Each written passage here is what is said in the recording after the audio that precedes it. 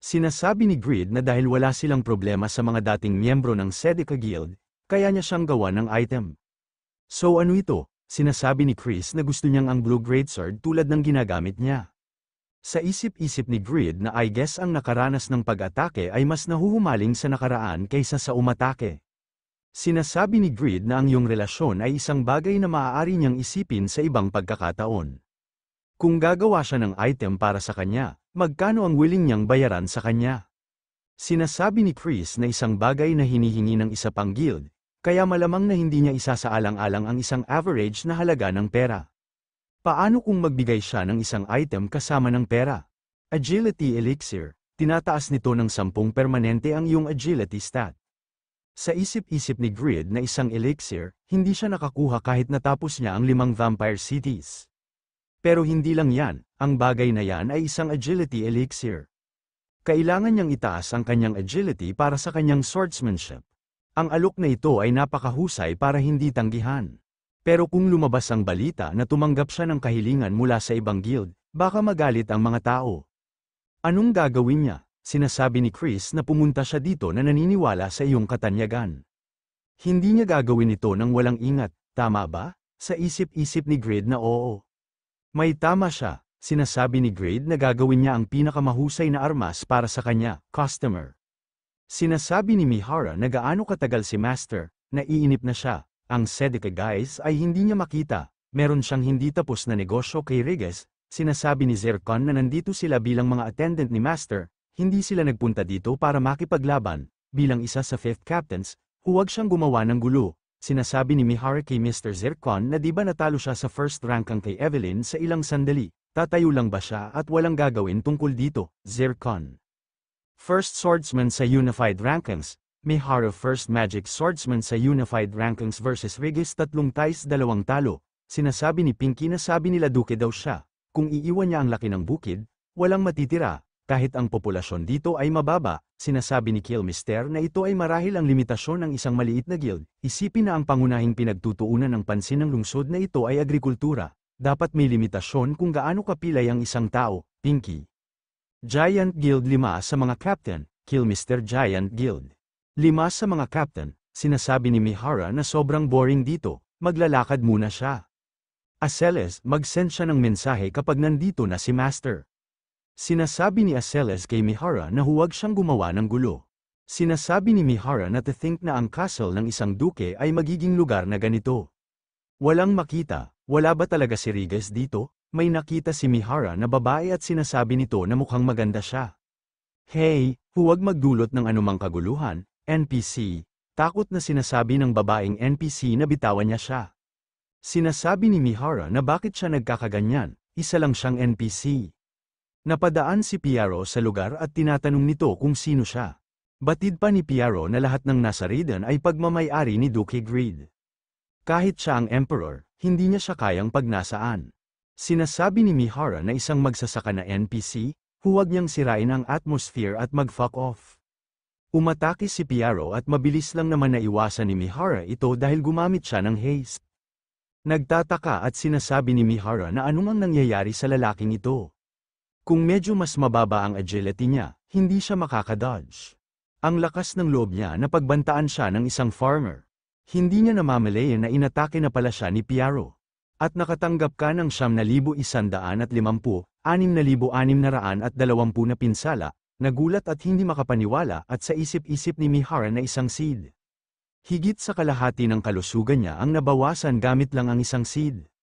Sinasabi ni Piero na ang Raiden ay hindi isang lugar na tumatanggap ng isang basura na tulad niya, at ayaw niya na ang isang basura na hindi nabubulok, dahil sa nakikita niya, hindi makakahinga ang lupa. Gulat na gulat at hindi makapaniwala si Mihara na namatay siya ng isang sidlang, sa smithy, sa isip-isip ni Grid na well, I guess mauunawaan ng iba, kailangan niyang gumawa ng grade set, ang gagawin niya ngayon ay ang Grade Greatsword, Legendary Blacksmith's Creation Skill.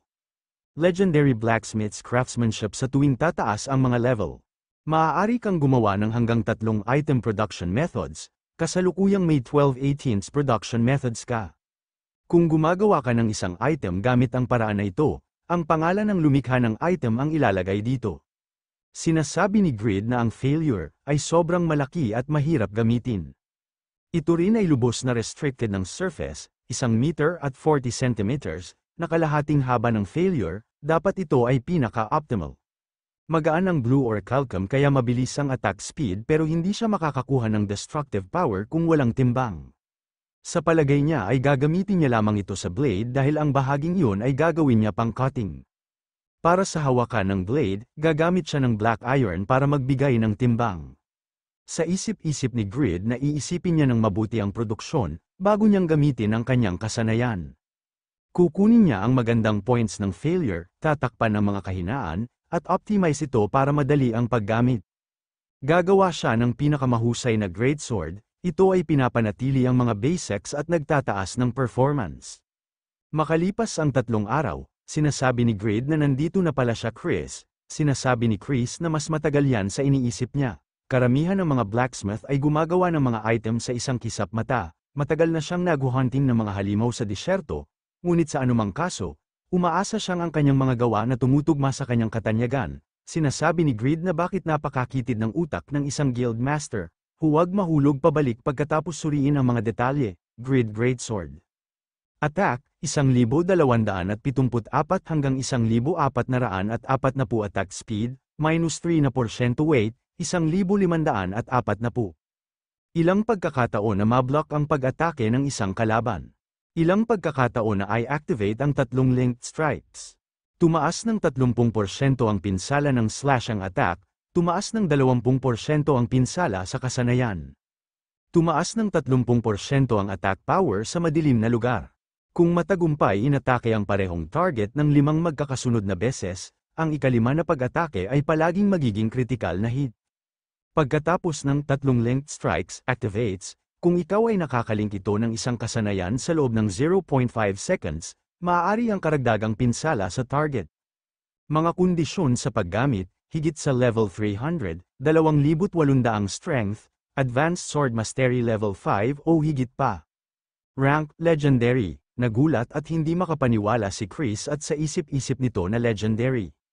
Higit pa ito sa inaasahan niya, ito ang kanyang sword. Teka, anong meron sa option na ito? Habang ginagawa ni Grid ang item, sinasabi ni Grid na mayroon siyang pride, hindi niya balak na gawin ito ng walang ingat, ngunit dahil ito ay isang sandata na ibinibigay niya sa isang tao na maaaring maging isang kaaway sa hinaharap, kailangan niyang maglagay ng malinaw na paghihigpit, isang bagay na gagawing umasa ang item sa gumawa, ang Grid Greatsword ay nagdagdag sa listahan ng paraan ng produksyon, Grid Greatsword. Rank, Unique Legendary, Durability, 575-575 Attack, 1,274 hanggang 1,440. Attack speed, minus 3 na porsyento weight, 1,540, ilang pagkakataon na mablock ang atake ng isang kalaban. Certain chance to activate tatlong linked strikes, tumaas ng 30% ang pinsala ng slash ang attack. Tumaas ng 20% ang kasanayan ng pinsala, tumaas ng 30% ang attack power sa madilim na lugar. Pagkatapos ng tatlong linked strikes, activates, kung ikaw ay nakakalink ito ng isang kasanayan sa loob ng 0.5 seconds, maaari ang karagdagang pinsala sa target. Sa isip-isip ni Grid na karamihan sa mga option nito ay mas malala pa sa failure, pero mas mataas ang pinsala output nito. At sobrang na-optimize para sa swordsmanship, effective design na ito. May magandang symbol pa ito sa gitna, sisimulan niya na agad ito. Kailangan niya ng labinsyam na blue or calcum at 44 na black iron. Hindi tulad ng black iron, ang blue or calcum ay isang mahalagang item na nadrodrop lamang sa Forest Guardian. Salamat kay Jishuka na nagpadala sa kanya ng mga nakuha niyang blue or calcum habang nagre-raid siya sa Bayran. May mga 39 na blue or calcum siya, kaya niyang gumawa ng at least dalawa. Sinasabi ng isang batang blacksmith na kahanga-hanga na isipin na madali niya lang natutunaw ang iba't ibang mineral. Naiisip niya kung tuturuan siya ng mga sikreto niya kung magtatanong siya. Sa isip-isip ni Grid na may mas malinaw na siya na vision sa gusto niya sa panahon na ito, para maliwanag niyang nakikita kung ano ang dapat niyang gawin. Kaya niya ito, tulad ng sinabi ni Bram, siya ay isang legendary blacksmith na transcends humanity. Sa isip-isip ni Khan na hindi niya maisip na ang ibang blacksmith ay maaaring umabot sa isang bagong level sa pamamagitan lamang ng panunood sa kanyang trabaho. Siya ay totoong nagpapakita ng daan, ipakita sa kanila kung paano nagtratrabaho ang isang legendary blacksmith.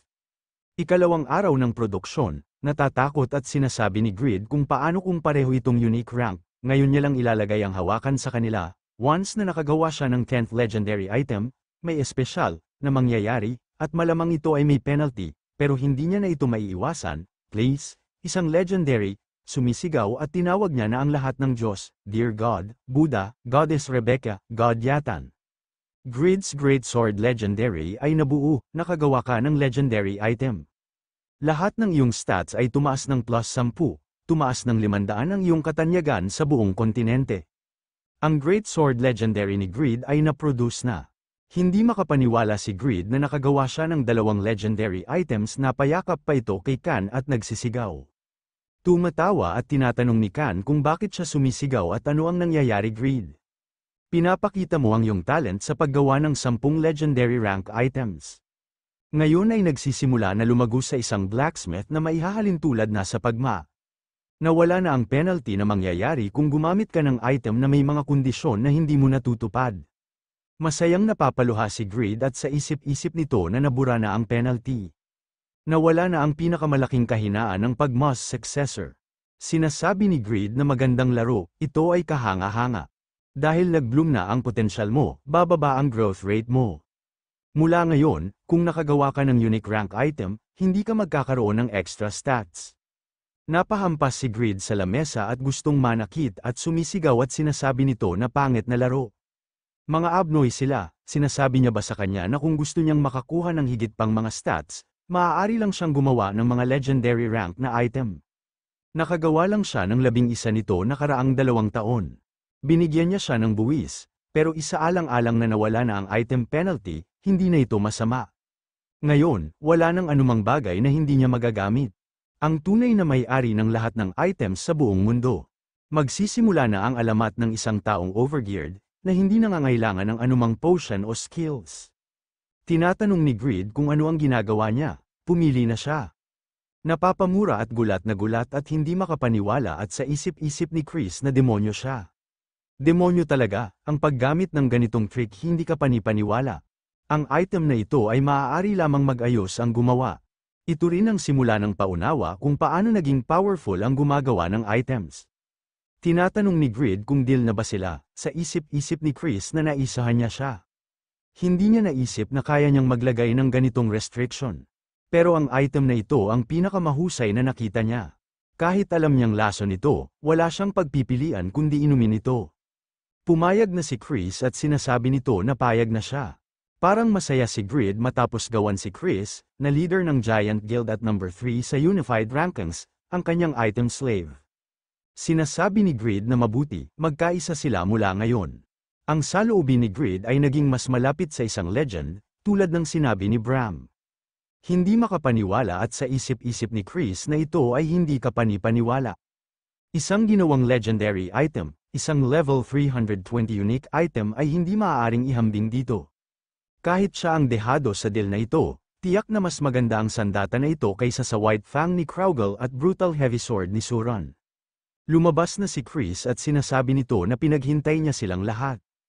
At tinatanong ni Chris kung nasaan si Mihara, sinasabi nila na master. Yung lalaki na yun lumabas at gumala mag-isa, ganyan ang ego niya. Sa isip-isip ni Chris na kung ang lahat ng Overgeared Guild members may mga ganitong item. Malamang sila ang pinakamalaking balakid sa pagitan niya at ng kanyang layunin na maging hari. Sinasabi ni Chris na maayos na natapos ang sitwasyon nila ni Grid, bumalik na sila, sinasabi ni Aceles na pagbalik nila, pakisabi kay Mihara, hindi pa tapos magsalita si Aceles na patigil na ito dahil may mga hamarang sa kanila. Sinasabi ni Piaro na limabas silang lahat, inutusan ni Piaro na mag-araro sila ng lupa. Sinasabi ni Greed na magandang deal ito, I guess. Babalik siya, tumaas ng sampu ang iyong agility, strength, 2,700 at siyam na po.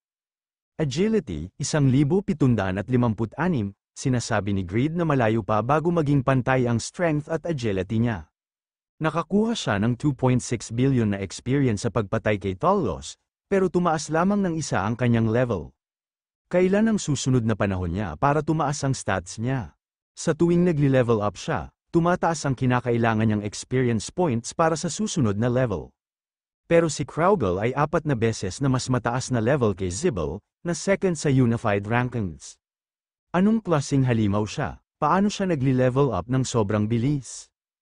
Hunt lang ba ang ginagawa niya? Wala ba siyang kinakain o iniinom? Napapakamat na lang si Grid sa kanyang ulo at sinasabi nito na as expected, parang elixirs lang ang sagot. Mayroon pa ring natitirang 25 na araw na tumataas ang mga drop at experience gain kapag nag-hunt sa mga lungsod ng vampire. Nasa level 308 na sila Pan at Regis, dapat siyang sumama sa kanila sa mga nagu-hunting. Kailangan niyang mag-hunt hanggat maaari, pero may kailangan siyang gawin bago yan. Ginamit ni Grid ang item creation, sinasabi ni Grid na sa panahon na ito, ito ay isang armor na nilikha gamit ang blue or calcum at black iron. Hindi magagasgasan ng spear at hindi natutunaw kahit tamaan ng dragon breath. Imposible, may limitado ang design material at level ng pagbuo. Sinasabi ni Grid na tulad ng inaasahan, dahil hindi na siya nagdurusa ng penalty dahil sa hindi pagkatuto sa mga kinakailangan ng isang item, Nais niyang subukan ang paggawa ng item na walang limit na pag-atake at depensa. Dahil ba sa skill, ibig niyang sabihin, naiintindihan niya kung bakit hindi ito posible. Limitado ito ng mga material, alam niya ito dahil sigurado siya kung paano natapos ang failure. Wala siyang maisip na negative effects na pati ito habang nagde-design. Kung gagawin niya ito gamit ang Pavranium bilang isang sangkap, maaaring iba ito. Pero kulang pa rin siya sa kakayahan, Dumating si Minor at tinatanong nito kung bakit siya nito pinapatawag. Sa isip-isip ni Grid na hindi niya mapapatupad ang mga plano niya kung hindi siya makakakuha ng magandang material. Sinasabi ni Grid kay Minor na mag-analyze at magbigay ng report sa kanya kung saan lugar ang may maraming blue or calcum. Nabigla at sumisigaw si Minor at galit na sinasabi nito na ano. Sinasabi niya sa kanya na kung maiipon niya ang lahat ng Pavranium, hahayaan niya na siya mamuhay bilang Manero. Sa isip-isip ni Minor na gusto niyang maging legendary Minor na higit pa kay Geese. At magiging kanang kamay siya ng Emperor, sa isip-isip ni Greed na tignan niya ang mga mata ng lalaking ito. Tulad ng inaasahan, ito ay isang mukha ng isang traidor. Sinasabi ni Greed na narinig niya mula kay Rabbit, lumala ang kalusugan ng nanay niya, di ba? Magpapatawag siya ng mga pinakamahusay na doktor para sa kanyang ina, kaya gawin nila ito ng mabilis. Gawin niya ito para sa kanya. Okay, sumisigaw at galit na sinasabi ni Minor na ginagawa niya talaga ito sa isang bata na labing apat na taong gulang lang. Demonyo siya, sa isip-isip ni Greed na sinuri niya siya ng Great Lord Sword. Pero ang talent ni Minor sa mining ay wala sa legendary level. Pagpapabuti ng kanyang unique talent na Minerals Detector. Diyan dapat silang mag-focus, may nag-message kay Grid at sinasabi nito na Master, si Euphemina ito. Apat na ang luha ng Water Clans Kings ang naipon niya. Anong gagawin niya? Nagulat si Greed dahil marami ito. Hindi ba ang Water Clans King ay minsan lang sa tuwing limang buwan? Tatlong buwan pa lang mula nang pumunta siya sa Siren, paano niya ginawa yan? Sinasabi ni Euphemina na maswerte siya at nakakuha siya ng isang special quest. Sasabihin niya sa kanya ang mga detalye, sinasabi ni Greed na maghihintay siya ng magandang balita.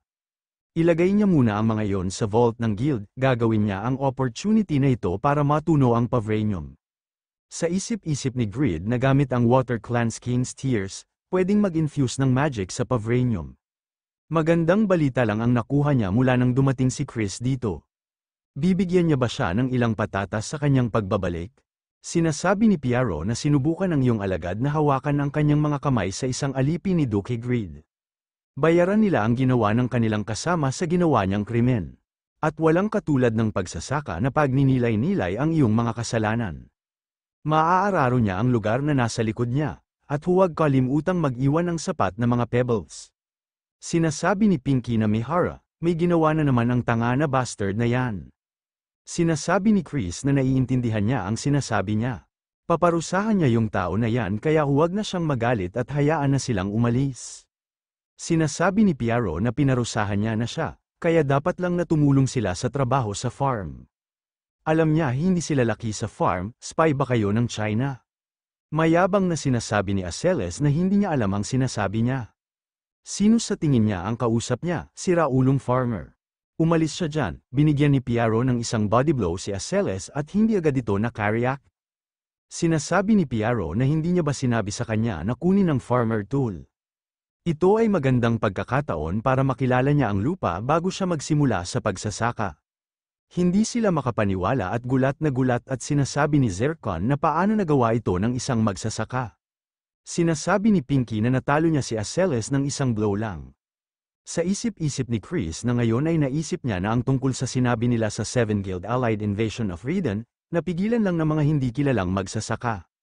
Narinig niya na talo niya si Zibel gamit ang narrow margin, at tinawag siya ni Zibel na Reden's crazy farmer, so siya pala ito, sa isip-isip ni Chris na nakakuha siya ng second class, at isang bagong sandata, sa point na ito, tiyak na mas malakas siya kay Zibel, sinasabi ni Chris na ang kanyang mga kasanayan, ipakita niya rin sa kanya, Chris third sa Unified Rankings Class, Destruction Warrior.